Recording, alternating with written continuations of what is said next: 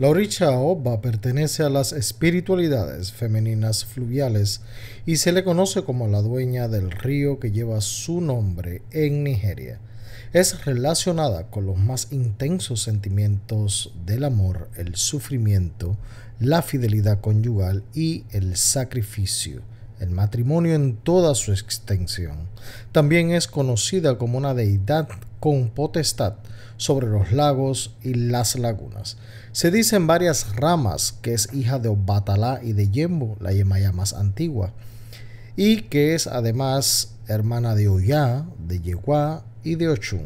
Además de pertenecer a la trilogía de las orichas que custodian el cementerio, ya que en compañía de Oya y de Yeguá resguarda el lugar de el eterno reposo de los difuntos. En el caso particular de Obanani, como también se le conoce, tiene como facultad custodiar las tumbas. Se piensa que está alrededor de la fosa mortuoria. Entre los metales es dueña del cobre, al igual que Ochun, y el estaño.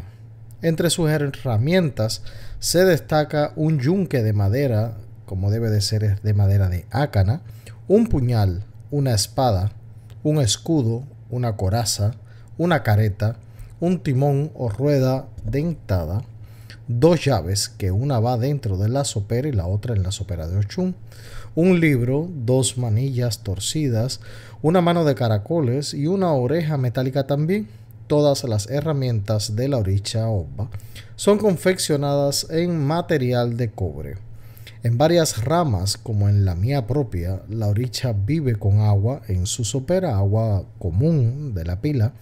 Su vestimenta además es de color, de color perdón, rosado y marrón.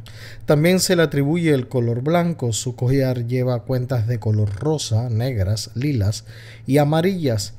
A esta oricha se le ofrecen todo tipo de frutas y preparaciones típicas de la cultura nuestra afrocubana. Pero su comida favorita son los pescados fritos pequeños, 8 o 9 se le pone. Además el ñame que se le puede poner presentado crudo, cocido o guisado. También se le ofrece miel, aceite de corojo y cocos. Sígueme para más consejos religiosos.